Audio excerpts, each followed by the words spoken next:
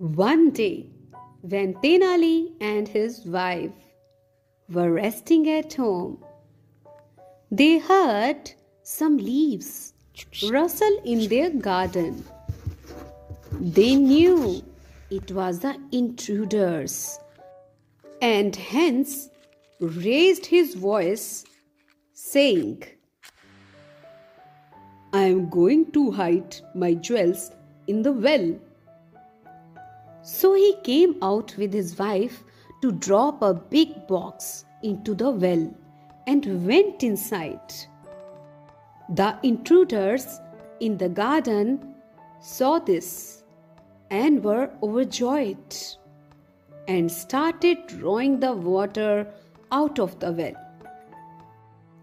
Keep doing, keep doing, keep doing.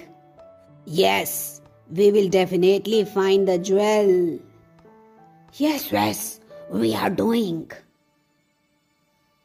By daybreak, they were very tired and sat down to rest by the wall of the well. Oh God, we are tired now.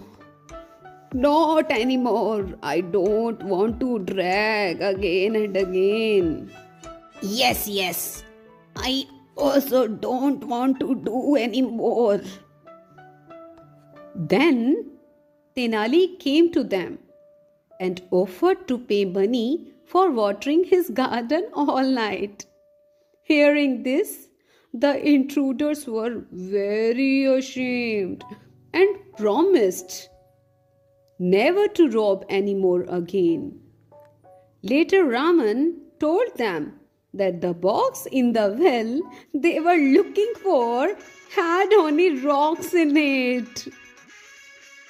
So, in this way, Tenali Rama taught the lesson to the intruders. So, students, this is the story of Tenali Raman's treasure in well. Hope you have enjoyed this story, students.